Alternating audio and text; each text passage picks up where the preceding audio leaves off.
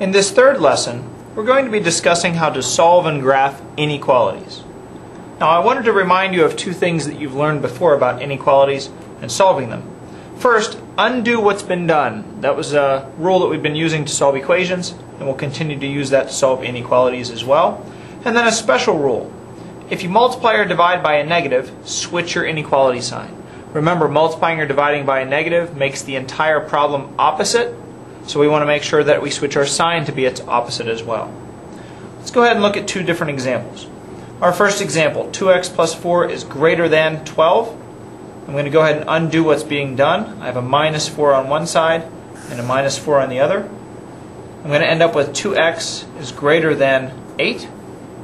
Now I'm going to go ahead and divide by 2 on both sides. I'll be dividing by 2 and I get x is greater than 4.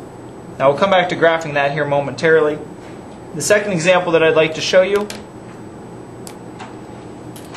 is an example that says negative 3x minus 7 is greater than or equal to negative 22.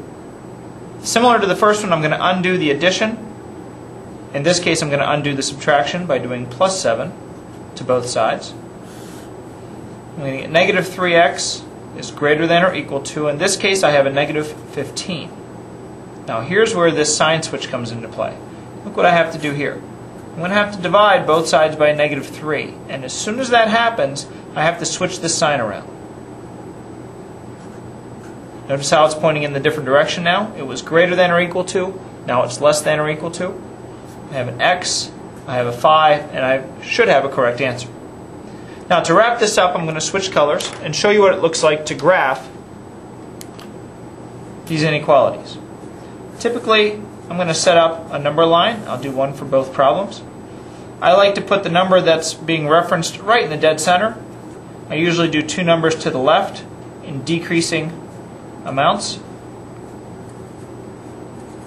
and two numbers to the right in increasing amounts.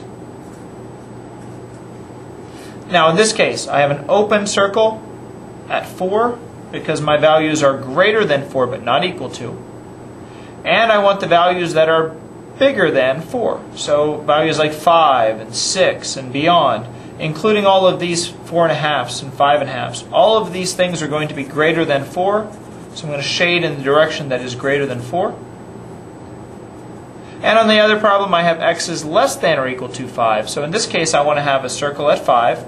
But because it's equal to, I'm going to shade in my 5, and now I want the values that are less than 5, like a 4, a 3, or beyond if we needed to.